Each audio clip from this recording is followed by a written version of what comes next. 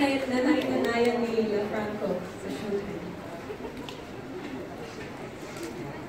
Asa ang ko ito? Dito siya natin. Kakanta na lang ako ng bupal.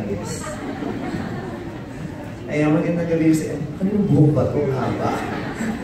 Haba. Magandang gabi sa inyo lahat. Um, ano dito? Ano ba? Nagsimula ko yung friendship namin ni Franco. Yun. Nag-audition kami sa hashtags.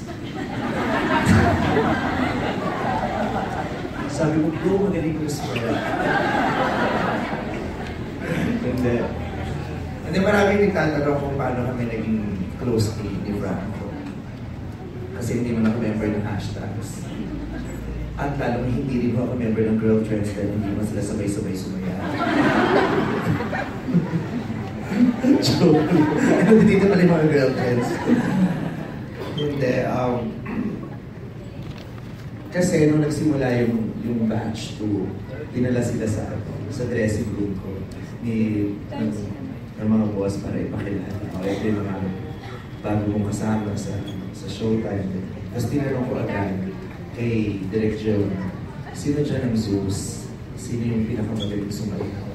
Sabi ko baka naman puro pogi.